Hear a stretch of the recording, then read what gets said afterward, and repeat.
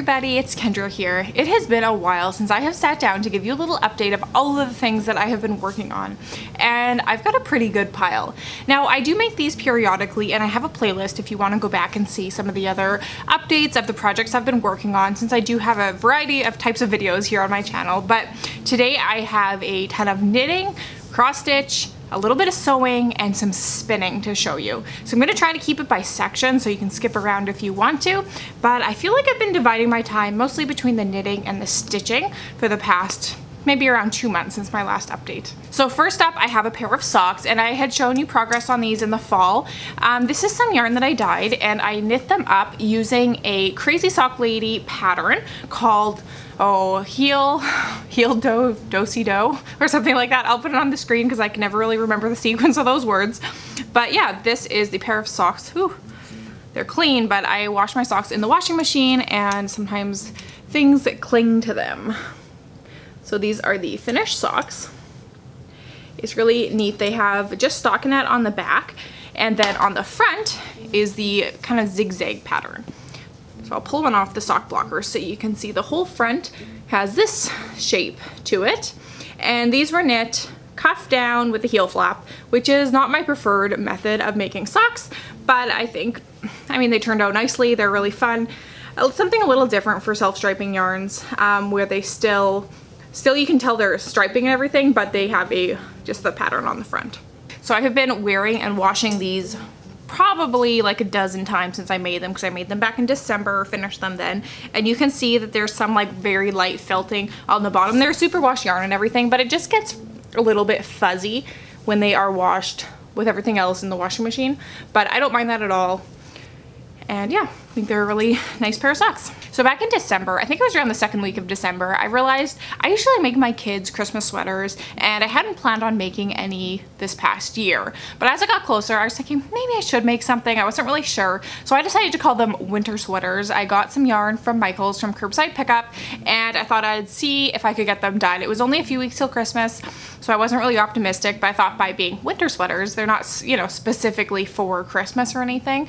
And so I used Loops and Thread Impeccable yarn, which I just did a little review on that yarn, so I talked about these sweaters a bit there, but I will also show them here as well. So the main yarn is Loops and Thread Impeccable, but I did use a couple contrasting colors for the color work, and all of these were worked with the Strange Brew pattern by Tin Can Knits, which is just like a recipe for color work for different weights of yarn and different sizes. So starting with the largest one, You can see the color work at the top there and then it just kind of comes down. So this one I made I think in the 8 to 10 size and this is the it used part of the chart from the Sunset Highway sweater by Caitlin Hunter, which I've made for myself in the past, but I didn't have the child size version, so I just used part of the chart. The next one down, this one here, I just drew out the pattern myself. And you can see this is, I think around the, si uh, the size four to six but pretty basic. They all just have a bit of color work at the top and are solid the rest of the way down. Very simple. This is the youngest one. I think it was size two to four and I just drew out this pattern as well. So altogether we have this set that's kind of coordinating but not super duper matchy. And I am really happy with how these turned out and I think they'll fit the kids for a while still. It's been a really cold winter so it's nice to have some thick sweaters. Well, they're worsted weight, but they feel a lot denser than some of the sweaters I make. So anyways, these ones were done in December as well. So I did do some knitting and things for Christmas and I've shown some of that in the past and I did some more in December, but I don't have any of that and I'm not gonna talk about it. Um, but anyways, I am going to go on to now like the January knitting I did. And I made a make nine in January of some of the things I wanted to do this year, both knitting and stitching. Uh, but one of them was the E sweater by Alicia Plummer. And I had picked up this pattern last year and I had kind of modified it to make a child size version for my son with a fingering weight, but the pattern itself is written for a worsted weight adult size. They do have other versions, but that's one I have. And so I was really wanting to make one for myself too. And I'm kind of getting down on the sweater yarns that I have in my stash and I'm not really wanting to buy more supplies at this point. So I decided to combine a few yarns and I dyed them. So I started off with two different colors of Knit Picks Wool of the Andes and I have made sweaters out of both of these colors before but I decided to dye them and remake them. Again I did a video that kind of went over this briefly, but I thought I'd show you the finished sweater. And this here, ooh, it's dark, but is my finished sweater. So it is made out of the Knit Picks Wool of the Andes, but I did over dye it. And then I went back and I lined the neckband here so it lays a little nicer. It has this drawstring at the top. It's a nice casual sweater. And it's just very basic otherwise. It's just the neckline itself that I like the most with the cowl neck. And yeah, this is my finished sweater. This is for me. And yeah, I'm really happy with it. I don't really have a reason to dress up most of the time, so casual sweaters are where it's at for me, and I really like this style, and I'd like to make more of these ease sweaters. So in the spirit of kind of using up some of the things that I have on hand, and things that I like and love to would love to use, but I just didn't have anything in mind for, I decided to use up some of my hand spun and make another sweater. So this one I didn't use a pattern for, you know, I often for a basic sweater will just use the Tin Can Knits flax sweater, but my biggest issue with that is that often my necklines end up a little bit too wide, and so I decided to just kind of do my own thing and start with a cast on that felt nice and nice and high on my neck and uh, go from there. So this is my finished hand spun sweater. It is pretty cropped and that's because I do want it to wear with skirts or dresses but it only uses three colors and each of these colors, I mean, I've dyed and spun, but they're all different fibers. So this top color here is some superwash BFL. The middle one is superwash merino and the bottom one is um, Peruvian Highland wool. So the bottom one's a little bit like scratchier than the, other, than the other two, but I don't notice it when it's all together and especially it's lowest down. So it's not like right up on my neck or anything. But yeah, the merino and the BFL are both super soft and squishy. They're all dyed a little bit different, the bottom being the brightest, the middle being this muted with lots of darker colors, and the top has a lot of purple in it. So I just kind of striped them to one another, and I think it turned out pretty well, even between the sleeves and the body of the sweater, that it, uh, they kind of fit together even though it was very unexact and just like saving a little bit of yarn to use for the sleeves. But I used up almost all of all three yarns. And I think it turned out really nicely. Something a little different than what I usually make. So yeah, this is the next sweater that I made over the past couple months. I also crocheted the fox that was in my last video. I'm not gonna show that right now. I didn't bring it down, but that was another project that I worked on this over the past couple months here. And last of all, so I have been receiving Knit Crate for almost like a couple years now, and uh, they actually just send it to me to use as I want to make in videos or whatever, and so I'm really appreciative of that. And I think I still have a coupon code that works if you're interested in checking them out. I'll put it in the description box. So this month I got this really soft, pretty, like a ballet pink yarn, and it has stellina, it has silk, and it has merino in it. And my daughter was all excited about it, and you know, I'm happy to make things for her that she loves gloves. So instead of making socks, which was her first request, I thought I would try to make a top for her. Now she's in like around a size 8 clothing and so I didn't know if I would have enough since I only had like around that 400 yard mark but I decided to use the raindrops pattern by Tin Can Knits again, I'm such a fan of theirs. And a while ago, they had a little pattern sale where I think it was to buy one, get one free or get one up 50% off or something. And since I love their pattern so much, I got two. And um, so Raindrops was one of them. It's one I've looked at for a long time. I love the lace detail on it. Um, so anyways, I decided to use that pattern, but instead of making like a long sleeve sweater, I decided to make it a top. So I just finished this. It's still a little bit damp, so you'll have to excuse that. So it has this lace along the top and it just has a rolled hem and I decided to stick with the rolled hem the top of the sleeve, so simple. And then the body was knit with some ribbing at the bottom. Very lightweight. It used almost all of those 400 yards, but I thought for a sweater this size or for a top, that's not too bad at all. And it's just super light pink and sparkly and it's a really, really pretty yarn. I don't think it's reading how, how it actually looks. It's just a, kind of like a ballet pink.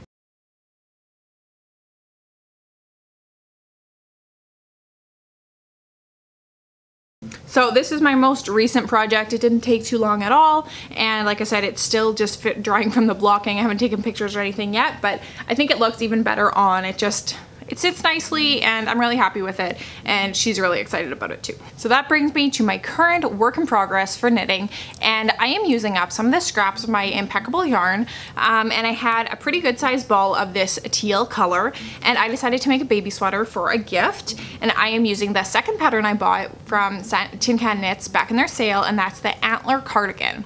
Now I have made a ton of antler hats and have often thought about trying to just use the chart to put it in a sweater but I just thought I'm gonna get the pattern and uh, let them do the work for me to put it into a cardigan. They also have a pullover version but I am making the baby size and I think the sweater with the hat would make such a cute little baby gift. So normally when I make sweaters I almost always do like top down raglan. You know that's like my go-to. Uh, but this one is bottom up. Bottom up's not my go-to. I have done it a few times. Um, but I decided to just follow the pattern as it is. I didn't realize that until after I started it or got the pattern and you know got ready to go. But I, it starts with the sleeves. So I'm making the 6 to 12 month size. And so the sleeves are here they are done and I just started on the body. So again, this is the bottom of the cardigan. So I knit up from here, I joined it with the sleeves, and then it has the cabling on the yoke. So I think that's gonna be really cute. And if I have enough yarn, I will do a matching hat. Otherwise, I will do a coordinating hat. And I think that'll be just fine. Baby knits are such a fun little project and I like to have a few things ready to go when I know that people are going to be having babies soon. So there you go. So next up, we are going to do some cross stitch. I have really enjoyed stitching over the past few months. Um, we'll see how that changes through the summer. I sometimes think it's nice to take a break from like wool and do stitching instead, but sometimes, you know, the opposite's true and knitting something really easy to pick up where stitching takes like a little more focus and attention, at least for me. So I'll show you what I have done so far, starting with two items that I fully finished, which means I had finished the stitching, I think last time I showed you, but I got frames for them. So I'll just show you how they are looking like on my wall now. First up is the How I Met Your Mother samplerish piece. It has all the quotes on it and I just got a very simple black frame. It barely fits in here. Technically you can see it all but it's not a great fit. It's not a great frame but without custom making something it's kind of the best I could find that wasn't super, well it was, wasn't even about price. It was the only one I could really find that fit it easily. So I do have the glass on it, um, but yeah, it's just very simple, long skinny black frame. That works for now, but you know, could always be updated in the future um, because it is such a close fit on the side. But to be honest, I didn't leave a ton of fabric on the sides, uh, but I don't have it secured in here like super well. So I can always update that if I want to in the future. My second that I fully finished was the Dimensions kit, the three bird watchers, it has these kitties with the birds and I got this frame here. It's like a really light wood color. I have this, I don't have ah, my edges all finished or anything. I just popped it in to see how I liked it and I like it. It has a stand on the back and so I just have it sitting by my sink and every time I'm like doing dishes I look at it and I'm just I'm really happy with it and I guess that's the motivation to keep finishing things because I like things for the process of working on them and I kind of forget that it's really nice to look at my work after the fact and it makes me really happy to like notice the little details again and to think about the project um, just you know on a daily basis. So this one got fully fully finished too. I'm gonna leave it up even though it is kind of wintry. But, uh, you know, maybe if I make another project that would fit there in the future, I could switch them out. But for right now, it's gonna stay up. My next stitching piece is finished, but not fully finished. It is Hedgehog by Micah Stitch Designs on Etsy. I knit this on 32 count linen with this polka dot. I think it's called like cream and brown, cream and white, cream and brown dots, cream and natural dots, something like that. But here is the hedgehog. So the designer has a whole series of these animals that are, she has it listed as like animals in sweater with mug or something. And uh, I'll link it down below so you can go check it out. But oh, there's a lot of backstitching in this piece. You can see all these um, spines on him. He has just so many colors of backstitching. All that snow and the sweater. It's really effective. I think he's just adorable. But yeah, it was a lot of backstitching. I had to take a little at a time because it was slow going. So part of the reason I haven't fully finished him is because I am considering stitching some of the other ones in the series. At first I left it on the big piece of linen and thought, well, we'll see, like maybe I want to stitch them together. But the more I thought about it, the more I thought, well, I'll do them separate and I can either finish them separately or maybe I can put them together in like a little wall hanging, like have a row of them with like a quilted border or something. I thought it would look really nice. So I just cut them out, but I am still holding off on deciding if I'm gonna do any of the other ones. I love the patterns, but again, the all the backstitch kind of makes me hesitate a little bit. Um, but I think they would be really cute to display like every winter. So it's a maybe right now. I think I'll probably stitch like one or two more, but uh, I haven't committed or started anything yet. Also the patterns, I think they're like $13 and they have sales every now and then, but I mean, I'm sure it's worth it. I'm happy to support designers, but if you're doing like a series of them, that adds up really fast. And so that's just another hesitation. All right, so on to stitching progress. Now I have to say before I get closer that for Christmas I was given a Kindle Fire, which is something I had kind of been talking about for a while. And one of the main reasons I wanted it was for the app Pattern Keeper. Now, I don't know, I know a lot of you are maybe not stitchers, but for big intense designs like the full coverage or like I have a Heaven and Earth Designs piece I've been working on, I have thought about it for a while. So up until I received this, I had my pattern for my Responsible Woman piece in this Duotang. I printed it off and I'll show you one of the pages that, I don't know, I don't think you'll be able to stitch it from like one page. I'll just show you a little piece of it, I guess. But okay, so here's the hand page. And this is the part, I am doing a no background version, that's why there's so much blank. And then I just find the stitches, that um, color them in. So when I came to where the pages were divided, it started to become more annoying. And I'll show you an example here I'll it from back here. On this page, this is like half of this dog. Half the dog is on the other page. And so the colors are kind of scattered between the two. So it's like a lot of flipping back and forth to find the symbols you're looking for um, to be able to stitch it without, because I'm not doing it like square by square, I'm doing like a little section like the dog all has similar colors. And so I'm trying to find all the colors all of one color and completing it in that section and then moving on to the next and completing it section at a time. So when you're looking between pages, I found that I was missing symbols and then it takes like twice as long to go back and get another piece of thread. And so many people rave about Pattern Keeper and I have to say, I'm sold. So it's this program that has my design in it and as you zoom in, it has all of the symbols and you can see like it goes by 10 by 10 square it can be in here. Uh, these are ones are completed, so you'll just see the color and not the symbol. But what you can do is search by symbol and highlight all of the ones, all of the stitches you have left of that color. So if we come in here where I'm working, if you go into the little magnifying glass and you select that color, it highlights them all. So as you zoom out, you can see, oh, I need to bring it back up to this section here. And it's really easy to find the stitches you want. So while you have that color on your thread, you can keep working. That's a really brief understanding of it, but it also shows stats like how many stitches I've done today, how many total stitches. This one has 48,273 stitches on it and I will show you where I'm at right now. Just took it off my Q-snap. This is my piece. So again, the title is Responsible Woman. The artwork is by James Christensen and it is charted by Heaven and Earth Designs. This is the no background version and I dyed my fabric to kind of mimic the original pattern.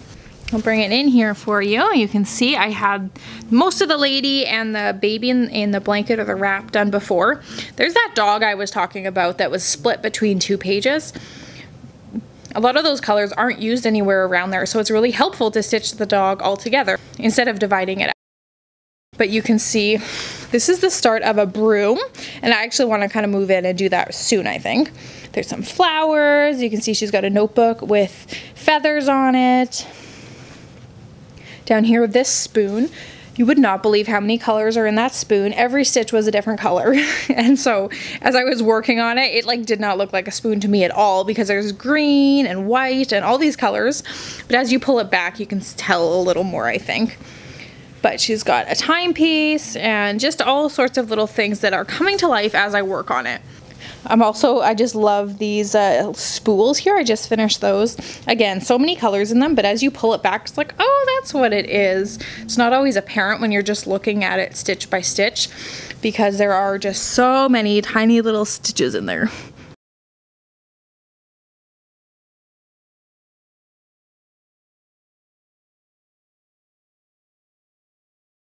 So this has taken a lot of time and work over the past few months and I kind of work on it in bursts it feels like. I feel like I've kind of been in a burst for the past week or two, but then I hadn't worked on it for like a couple weeks before. And I got really excited about it, but then I just like need to give myself a little break from it.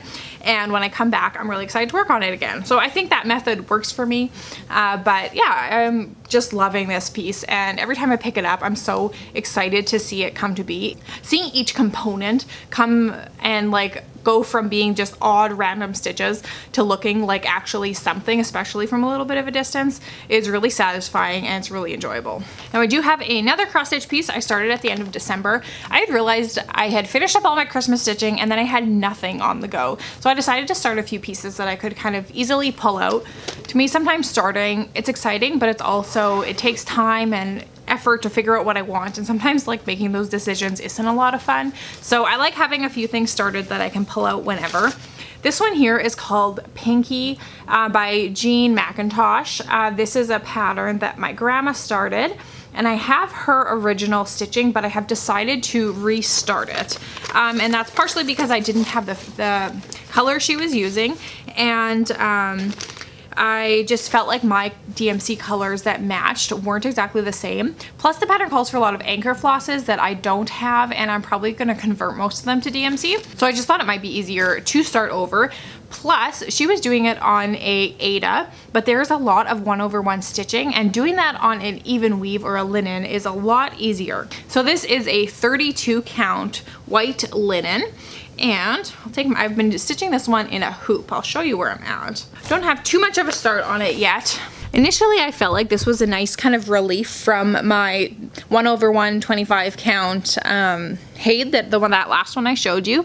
But I started working on it and I got started working up to her face and her face is 1 over 1 on 32 count, which is honestly not a ton of fun because those are really teeny little stitches as well. So I don't know, that's why I've kind of put it away for a little while, but I'll come back to it and do some more. These are just the ribbons that are gonna go around her head here. Around her head here, this is the bottom of her face. So there's not too much done on that. I worked on it for about like a week and then I set it aside for a bit. But I should come back on to it and I was thinking about doing the more of the ribbon around her head first. I don't have all of the threads for this piece yet, but I have most of the ones for her and her dress. So I thought I'd start with that and then I can pick up more as I need. I mean, I'm sure it'll take me a while to get much further anyways. I have one more stitching WIP. I have kind of barely started, but I just wanted to try out. So I picked up a little while ago another pattern from Heaven and Earth Designs. These are the really complex full coverage designs. And I wanted to do one that I could do square by square rather than my Responsible Woman that is not full coverage. So there's a lot of like negative space. So I decided on a chart called The Potting Shed by Amy Stewart. There's a regular version and a mini version. The mini version just is, I mean, shrunken down. There's a lot of confetti, like a lot of color changes, but it's smaller. So that's the one I decided to do. And I, back in the summer, had picked up some of this Easy Grid uh, that has a 10 by 10 blocks marked on it.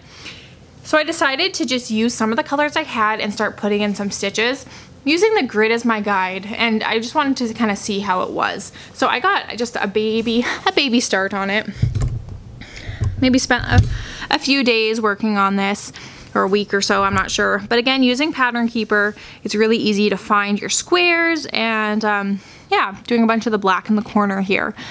So I'm not too far yet. I'm not working on it too seriously. I really do want to do Responsible Woman first. I really just wanted to get it started and it is nice to have a few different things to switch between when I get tired of Responsible Woman and need a little break from her.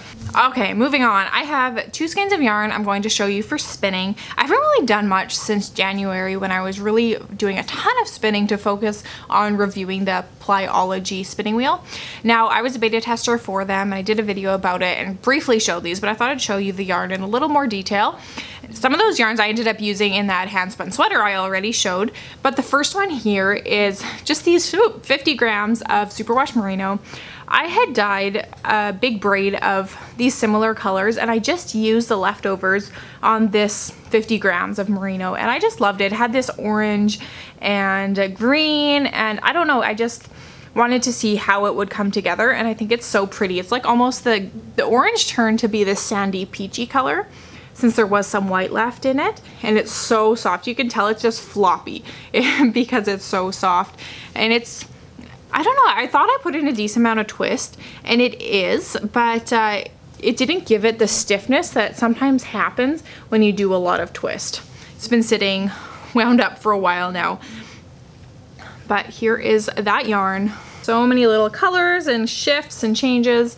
It's so pretty. I'm not sure what to do with it yet, but I just loved working on this and it really surprised me on how it turned out.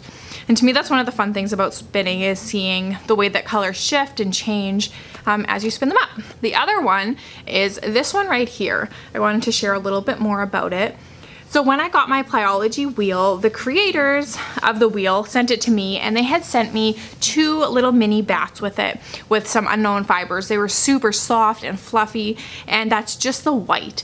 So I spun up the white single and I really decided that instead of applying it on itself, I would apply it with this um, single I had left over of some Corriedale that I didn't have enough of. It was just like from having too much on one of my bobbins basically. But when it all spun together, I think it turned out really nice. Gives it such a nice barber pulling throughout the whole thing and it kind of shifts between the light lilac-y purples and then there's some uh, gray in there too. It's like a blue-gray kind of.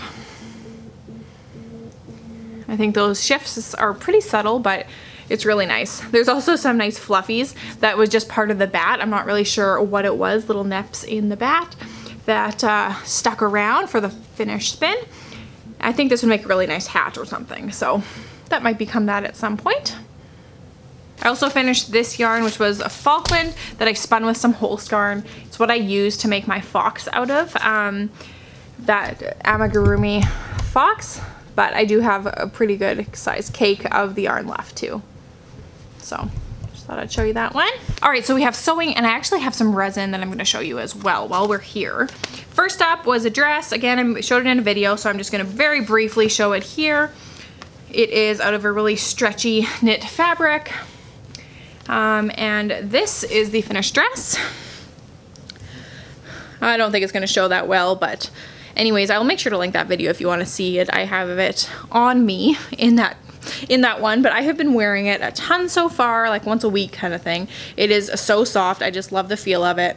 And uh, yeah, I'm really happy with how the fit is and everything. So I'm considering making a few more dresses like this, but this one got completed about a month ago. And the one that I'm wearing right now, I actually dyed. It's kind of a dusty pink and I used some denim blue Rit dye and dyed it this more purpley color. This is the pattern for the floral dress that I used. And a while ago, and I probably showed it in a video at that time, I made this dress here.